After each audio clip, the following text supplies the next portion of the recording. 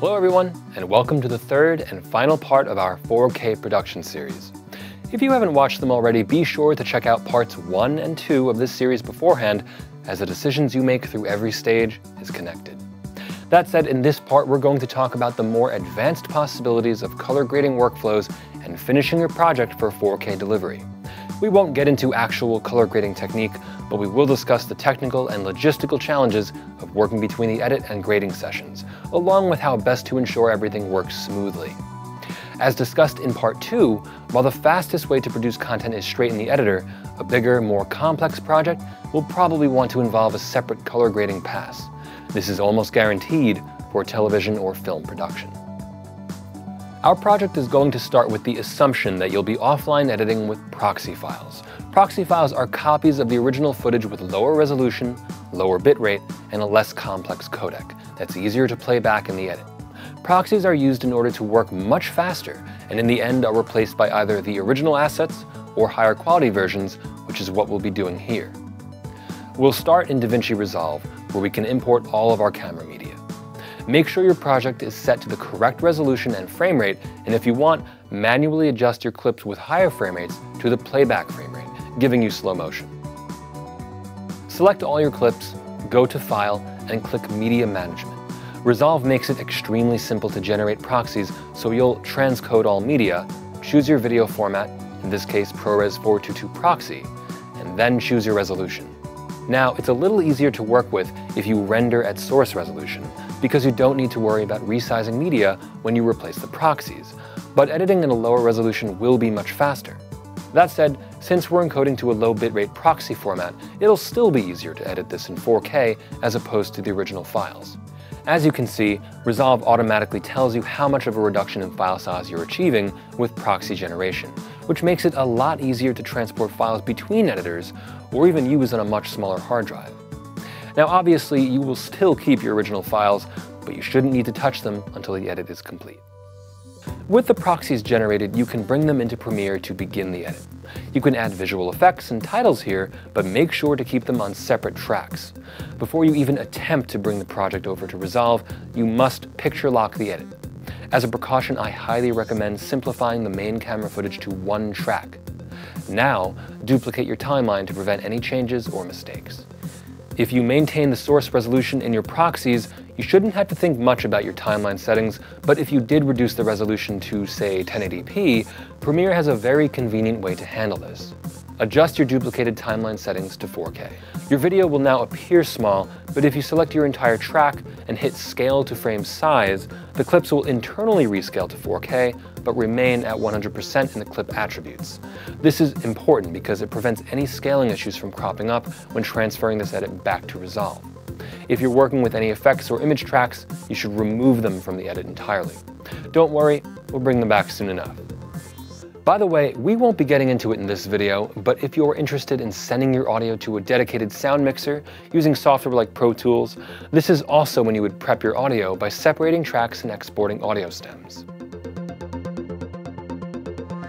Next, you'll export an XML file from Premiere and import that back into the same project you made earlier in Resolve.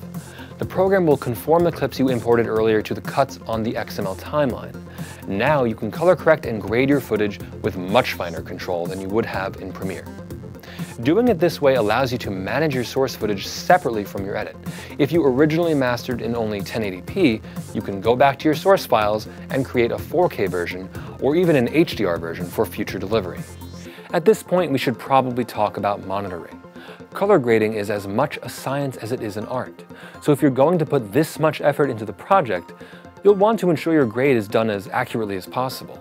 Monitors suitable for grading run the gamut in terms of capability and budget, but at the very least, you should use monitors that cover 100% of the color space you're delivering to.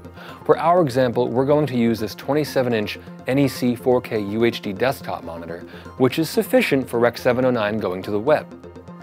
You have the option of either connecting the display to the GPU for a traditional dual monitor setup, or using separate video playback cards like the Blackmagic DeckLink Studio 4K. The advantage here is full resolution playback on a dedicated card to a separate monitor with support for a wide range of video standards. Remember that Shogun Inferno from part 1? We can repurpose it here as an HDR grading display if we want to master this project in high dynamic range. Because we're dealing with the original 10-bit files, it's a good example of the kind of remastering you can do at a later point based on how you plan the production.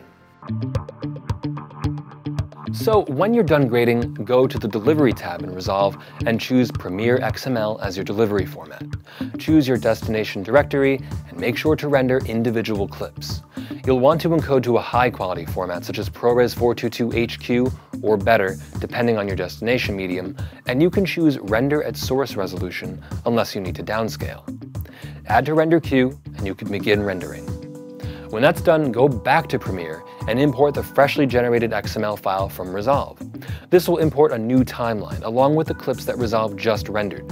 The benefit here is that instead of rendering all the source footage with grading implied, you're only rendering the clips you've used for the duration they run in the timeline. So in reality, you're rendering exactly what you've used in the edit. Now that we've reopened the edit in Premiere, you can combine the elements of your original picture lock timeline with the color graded version generated by Resolve. You should check over the video to make sure everything lines up properly and that any transition effects are still working. If you had your audio mixed by a sound mixer, you'll also recombine those tracks at this stage.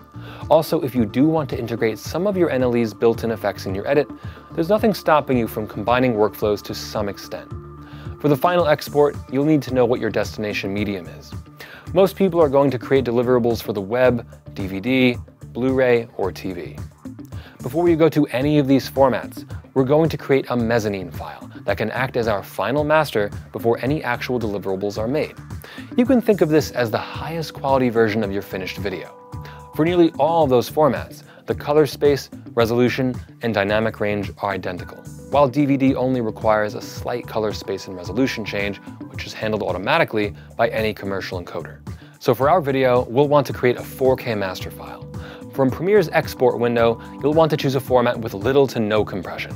High-end films will likely use an uncompressed format, such as DPX, but the majority of masters will be in a lightly compressed format, such as 10-bit ProRes or DNxHR. Below this, you can easily make sure your frame rate and resolution match your project with the Match Source button. For a master file, I'd recommend turning on maximum depth, 16-bit rendering, and maximum render quality. Unless you're producing a full-length feature film, chances are you won't have to worry about theatrical distribution. For short films, it is possible to create what is known as a digital cinema package, or DCP, within Premiere, though in general, it's recommended to go to a dedicated mastering facility to do this, as DCPs should be checked against industry standard authoring and monitoring tools. However, many festivals, broadcasters, and even some distributors are more accepting these days of file-based delivery. With your master file created, you can now deliver to almost any format you want. Adobe Media Encoder provides an easy way to do this with presets designed around destinations like DVD, Blu-ray, mobile, and web, but let's use a custom H.264 preset as an example. Under Format, we'll choose H.264. Jump down to the video settings and hit Match Source if you haven't already. For upload to a website like YouTube or Vimeo, you'll want to give your video a fairly high bitrate as these sites will re-encode your video once again, losing more quality. Switch to VBR2 pass and set your bitrate to 25 to 30 megabits per second for 1080p and about 50 to 60 megabits per second for 4K. For early drafts of your edit, you can use the CBR or VBR one-pass modes to create a fast file, as quality tends to matter less.